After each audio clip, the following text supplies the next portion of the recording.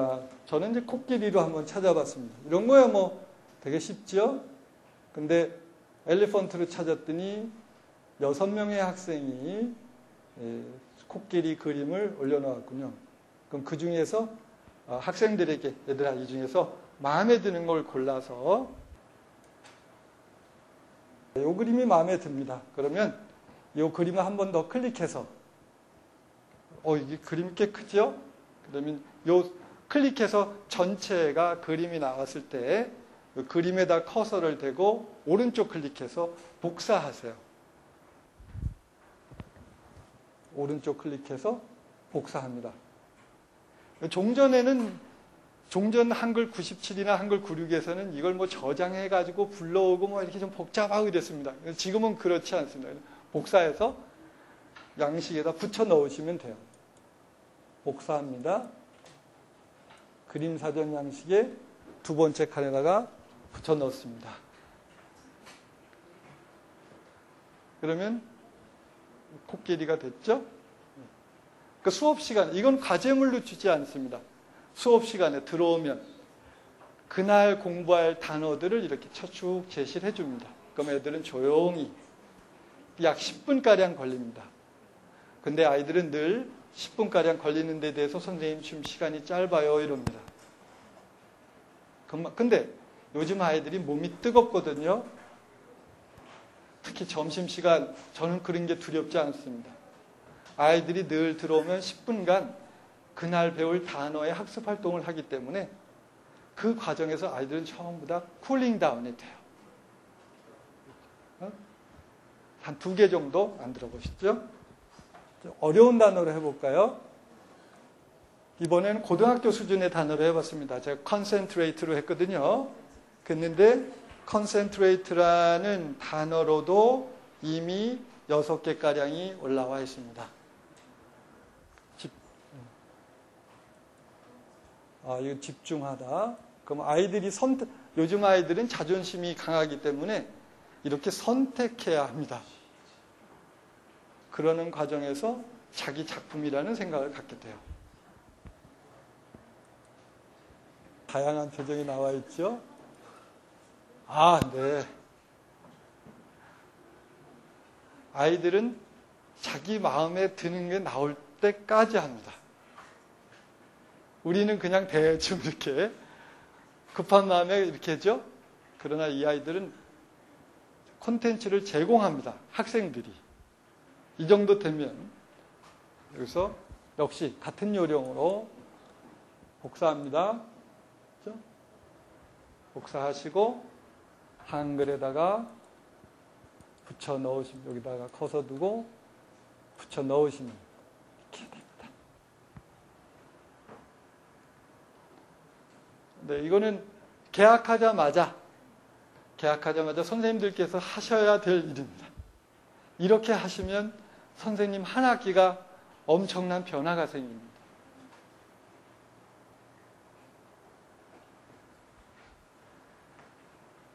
네, 그 다음에 얘들아 퀴즈를 만들 때는 어, 모음만 밑줄을 쳐라. 저는 그렇게 하고 있습니다. 엘리펀트에서 모음 부분만 밑줄로 쳐라 이럽니다. 엘리펀트에서 이렇게 또 집중하다에서도 마찬가지.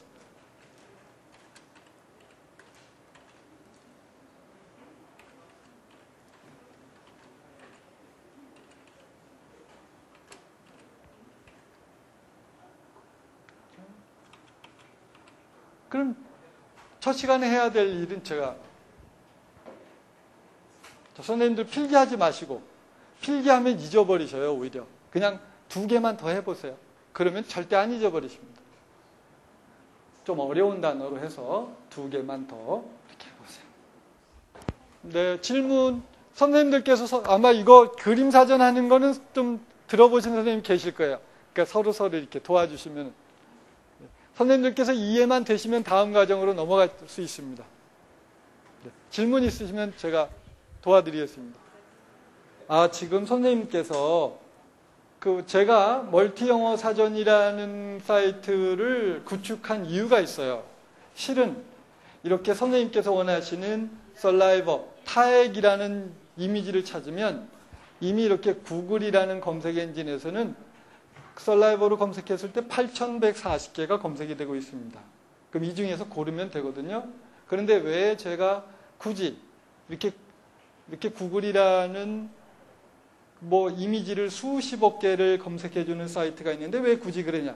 이게 교육적으로 안전하지가 않습니다.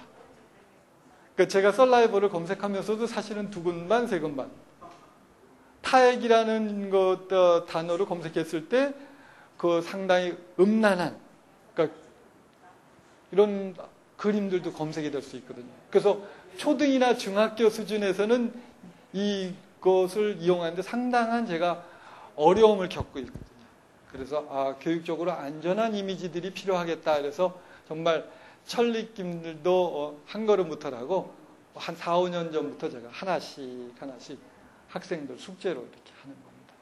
자, 그러면 어, 그래도 쭉 중3 고등학교 정도 되면 이렇게 여학생들은 상당히 민망해하는 수가 있으니까 그런 것을 선생님들께서 미리 얘들아 멀티형 너희들이 네이버를 이용할 수도 있고 그렇지만 교육적으로 여기는 좀 민망한 그림들이 없으니까 이용하고 정 없으면 여기를 이용해라 이렇게 알려주세요. 선생님들 그 여기에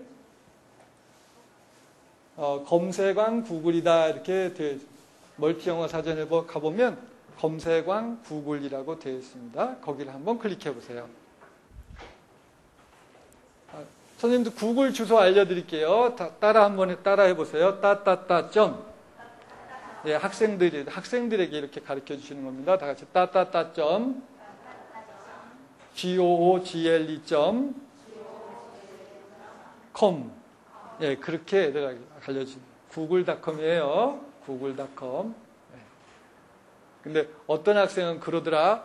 구글닷컴이니까 글을 구한다. 그런 생각을 해요. 그러나 구글은 우리나라 사이트가 아니에요. 요즘 학생들은 구글 좀 알 거예요. 근데 외국에서는 어, 검색에 관한 한 야후 세즈라고 아무도 안 합니다. 구글 세즈라고 하죠. 2004년 가장 많이 검색된 단어는 뭐 이렇게 할 때 구글 세즈라고 타임지나 뉴스웨기 이렇게 이미 그러면 여기서 웹문서 선생님들은 지금 웹문서 부분이 까만색으로 되어 있을 겁니다. 이 웹문서 부분이 까만색으로 되어 있죠? 근데 그 부분을 말고 바로 옆에 이미지 탭을 클릭하세요. 그러면 선생님들은 약 수십억 개의 이미지를 검색하실 수 있습니다. 네, 그러면 저는 학생들하고 이런 게임을 합니다. 자, 너희들이 아는 어떤 단어를 말해봐. 만약에 구글에서 검색이 안 되면 선생님이 문화상품권 5천원짜리를 주겠다 하고 그날은 문화상품권을 들고 갑니다.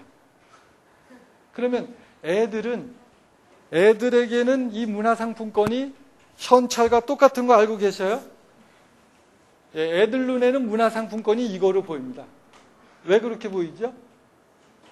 예, 사먹을 수 있으니까 5천 원짜리 문화상품권이 현찰하고 똑같습니다. 그러나 교육적으로 우리가 이걸 줄 수는 없거든요. 그래서 수업하면서 자 무슨 단어든 좋아.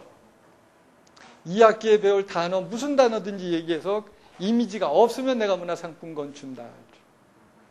네, 그럼 선생님들께 문화상품권 퀴즈를 하겠습니다. 선생님들께서 어떤 단어를 찾아서 없으면 제가 이 문화상품권을 드릴게요. 네, 지금부터 시작입니다. 1분간 시간을 드릴게요. 어떤 단어든 좋습니다.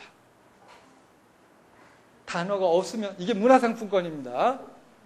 만약에 없 단어가 안 나오면 문화상품권을 드리겠습니다.